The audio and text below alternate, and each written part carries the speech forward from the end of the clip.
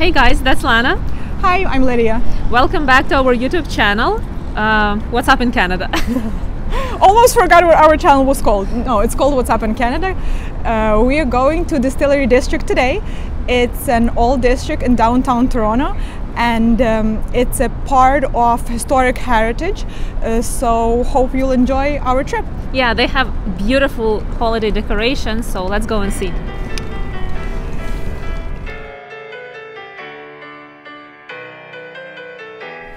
So, we've arrived in Distillery District. Yeah, here we go. The entrance is free today because it's not 4 o'clock yet. If you come after 4 p.m. Uh, Saturday, Sunday, you have to pay not a big fee, just $8. Uh, and obviously, yeah, you have to be double vaccinated and show your ID. And yeah, you're free to go. So it's very nice. That's just like a cute photo zone with the stars and hearts. And here you can see that the area is pretty old. You can see the, the cobble pavement and just the bricks of the buildings. Um, those are condos, so I guess people are very lucky to live here, just in the heart of the downtown. Either lucky or not very lucky because if we take a look, they have uh, Balconies. some balconies and some patio furniture. So I guess when you want to drink coffee on uh, this kind of balcony, you have to always think um, and to be dressed appro- to appropriately, appropriately. because uh, you know like ev- there are lots of people here taking pictures, taking videos. You don't want to get into anyone's picture in your underwear or something like that. So always you have to always have to be on top of your game and think what you look like. So and it can get no- noisy here as well because uh, uh, obviously there are lots of people, lots of businesses. Uh, so that might be a concern. Uh, but most of the population here, uh, demographically speaking, the, most of the people who live here are either single people or young couples. Uh, so I guess um, they would like this lifestyle, so it's okay. Let's take a look at this installation of a spider. It's a spider, yeah. You can see an eye, and the similar spider is in Ottawa City. We went in summer there. It's like way much bigger there, but um, we've read a story that there are a few of them in in Canada. So basically, that's our second one. We found it here in Toronto. And yeah, it's a lot of a lot of cool like art boutiques with the pottery, pictures, paintings, handmade crafts, uh, jewelry, a lot of nice stuff, a lot of snacks. Oh, something's going on. Yeah, okay, we will tell you the story later. Let's come and see what, what's, what's happening there. Let's see. Something for the kids, probably. This brought brought him joy. Now Angela was not an angel anymore. Oh, it's a reading for the was kids. Storytelling time. Yeah. The monster of Christmas joy. That's Wait nice. here a little bit. Yeah. See. Merry Christmas! Merry Christmas! Scream the monster of Christmas joy. My roars, furious and loud, are my Christmas presents to everyone. Roar! Can you give me a roar? Roar! oh, there is no scariest Christmas present that you dread for roars. Oh, okay. Moving on. Uh, Distillery District is a um, place uh, uh, in the east of uh, downtown Toronto. Um, it, it's full of commercial buildings and couple of condos. Uh, it includes um, over 40 uh, buildings uh, that are historical and part of historical and cultural heritage. It also includes uh, 10 streets and uh, uh, you can find the, uh, the highest uh, number of uh, um, industrial buildings that were built in uh, Victorian style uh, in North America. So that's uh, very interesting because we know that North America, US, and uh, especially Canada, uh, it's part of New World. So there are not that many cultural uh, buildings or places that are very old. Uh, so this is part of uh, of something that's a bit older. Let's so go and have a look at Santa. Yes. Ah, Santa. Santa has elves. Yeah. Did you put elves on the shelves this year at home? No, no else on the shelves because you have to move them all the time, and then I'm kind of like you know I don't want to forget because you forget and then Elf gets uh, upset with you. So I'm just gonna let it go this year. No else on the shelves for me.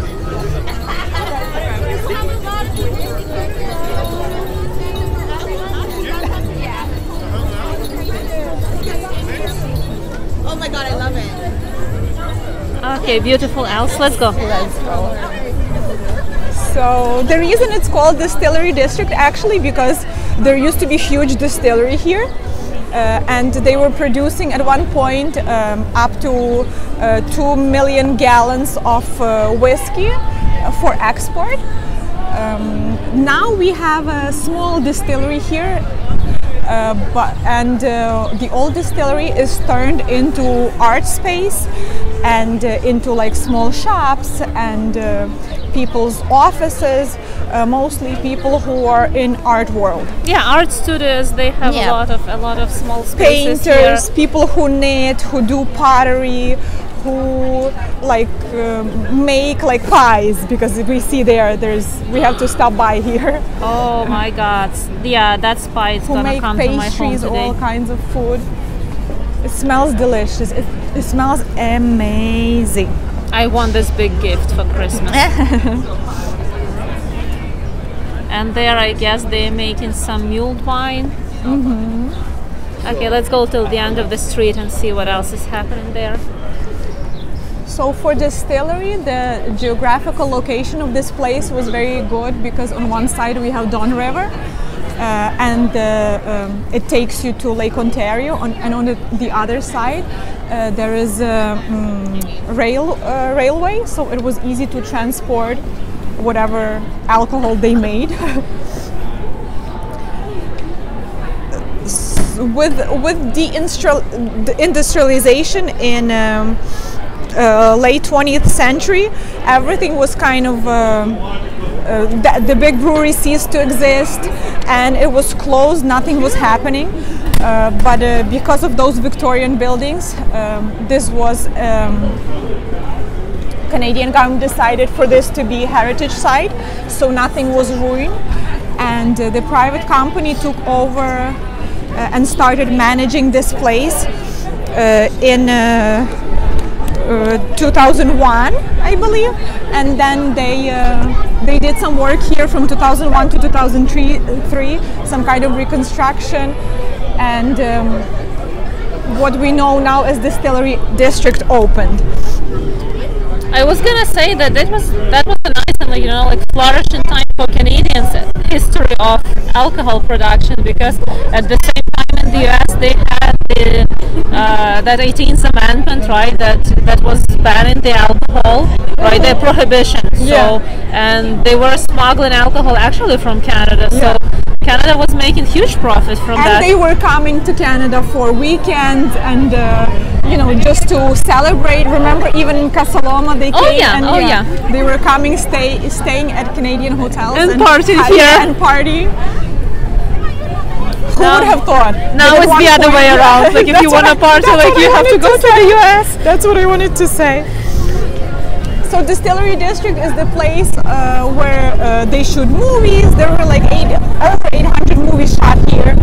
Um, and uh, the Christmas market um, opened up in 2010 and every year they have a Santa Christmas tree and all kinds of things related to Christmas and Christmas markets.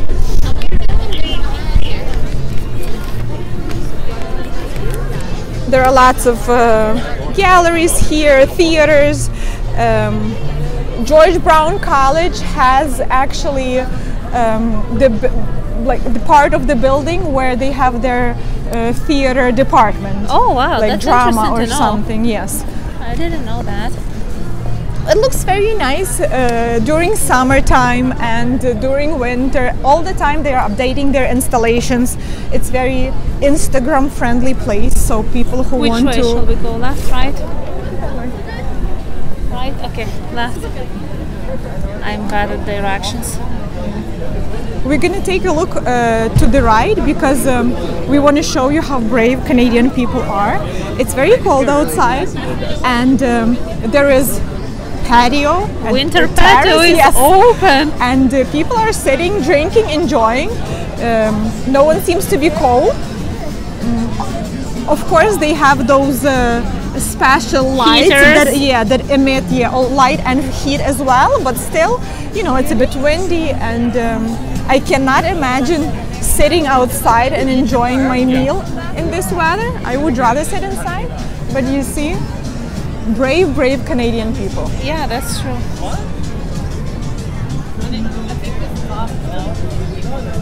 Here they have honey, jam, tea. That's a cute small shop. Drink of the gods. What is Ooh, that? what is coffee? that? I wonder. Chocolate? chocolate. Milk chocolate? a hot chocolate, okay. Drink of the god, yeah. You're getting the game. Okay, let's keep moving. Oh wow, what an interesting installation. Beautiful.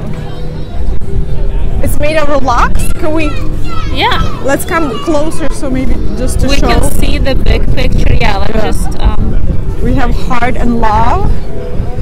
Oh. you know how it's a tradition like everywhere in the world. Like people write their names and put those locks on the bridges. Like just want to come closer and see. Yeah, you can you can read the names of people, or their the initials. Had we known this, we could have put like "What's up in Canada" and left it here. I'm not sure if Oh, it's yeah, actually it's, allowed it's to. It's never too late. I don't know. I think it is. I think yeah, no one would say anything. There's it's not not like there's some kind of security guard or anything here. So next time when we come, next time we're here, we should get a lock. I actually have one at home. We don't need it, so I can bring it. Jerk chicken for chicken lovers. Hot donuts place. Oh my god. It was like so like what do you want? I'm like, no. You should just, guys, imagine the smell of this place. It's really, really good. Okay, that's a tacos place. Yummy candles countdown tells us that 13 days are left. Christmas is coming soon.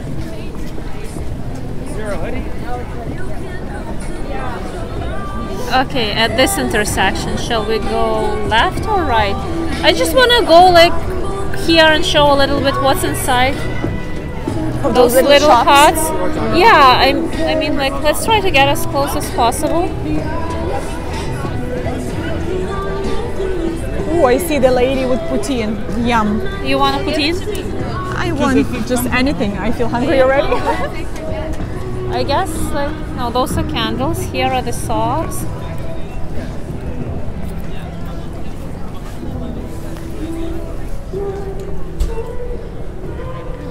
Are beautiful decorations.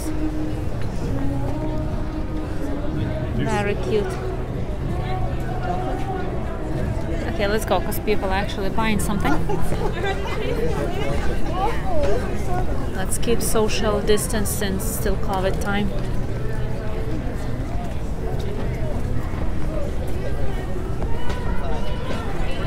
Yeah, I guess we have to turn around because that's actually the end. So every corner here is a photo opportunity. If you're someone who's into taking Yeah, pictures of buildings, of uh, It's uh, yeah, it's beautiful here. So that that's I guess that's the, the dead end, right? Like I mean, you you can. There's just a restaurant here, mm-hmm. another restaurant. And that's it. Okay, let's walk on the other side and. That's the Christmas tree we showed you. So we walked around. It's a small area, you can see. Small but very cute. A lot of hidden places, a lot of narrow streets. Every time you come here, you will find something new.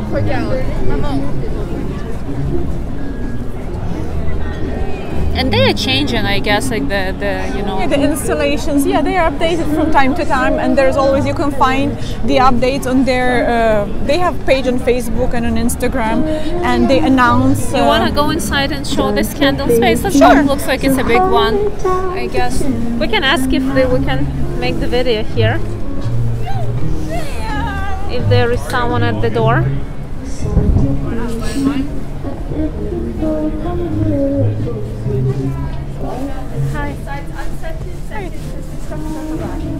Thank, Thank you. you.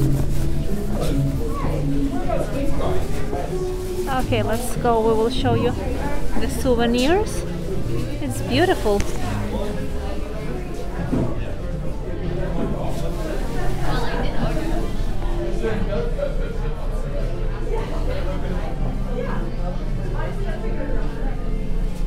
Beautiful. If you if you're looking Let's for some look. So, like, decoration for the yeah. house, So this is fifteen dollars. I guess it's like candle, a holder. it's just a holder. Yeah, just a cup. Yeah. Same here. Take a look at this beauty. You just open it. You put a candle here. Let's take a look. And this, how much is this? They have a tag at the back. 30. 30, yeah. Thirty dollars. It's always good to, to to see how beautiful something looks, but also to know the price. So I guess this is like holiday poopery and stuff. Let's take a look. I don't see the price here. But everything smells so good. The Smell is so amazing, yeah. It's just like all organic pine and, and everything, yeah. Let's see these candle holders. Twenty-two dollars. They're made of like stone or something like that. Oh, it looks like wooden to me, okay.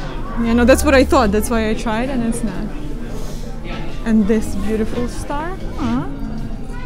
Huh? I don't see the price, but it looks This cute. was this one is not heavy, right? Like no, no, very, very light. And this kind of installation, sixty-nine dollars. It looks very pretty. fancy. Yes.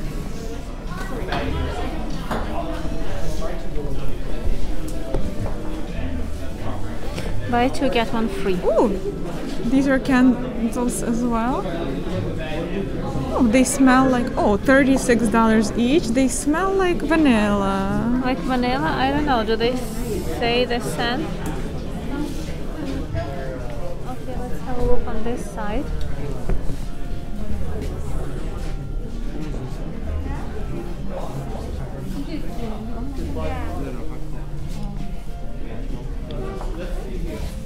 Yeah.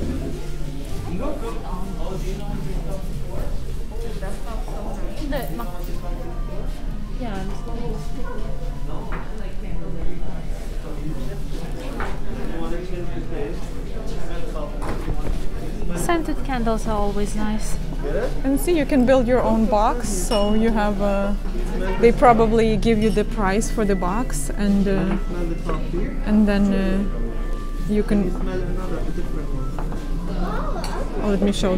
So this is the box, Uh-huh. and then you fill it with candles, and then there's the price for Yeah, you can mix and match different scents and flavors. That's cool.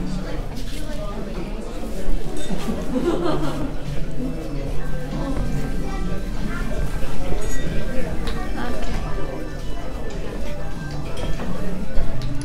Let's go this way. Let's see and have a look what's in those small bottles. Looks like a magic potion. Mm-hmm.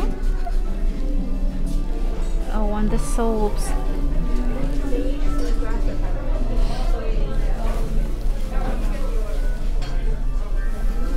That's very beautiful.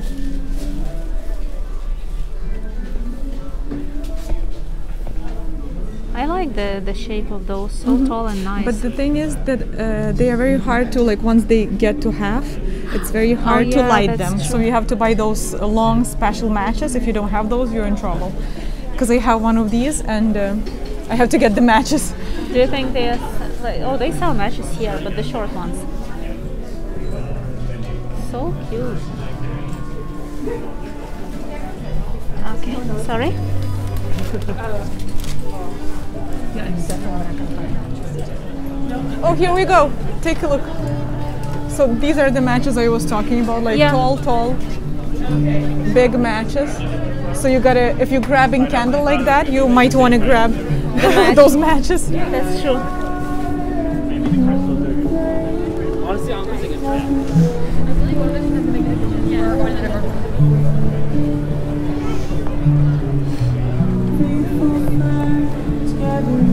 Nice.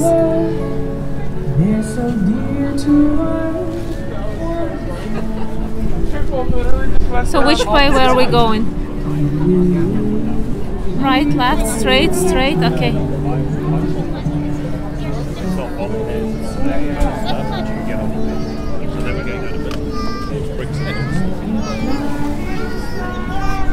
Ah, cutie. So cute.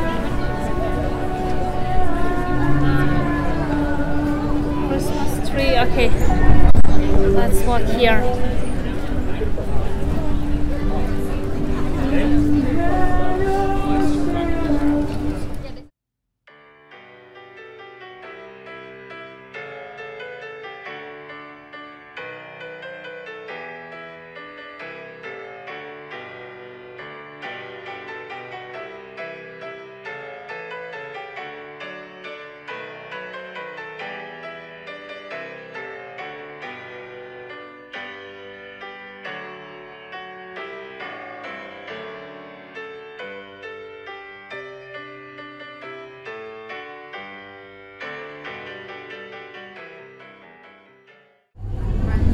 That's all for today. We hope that you've enjoyed our video and happy holidays.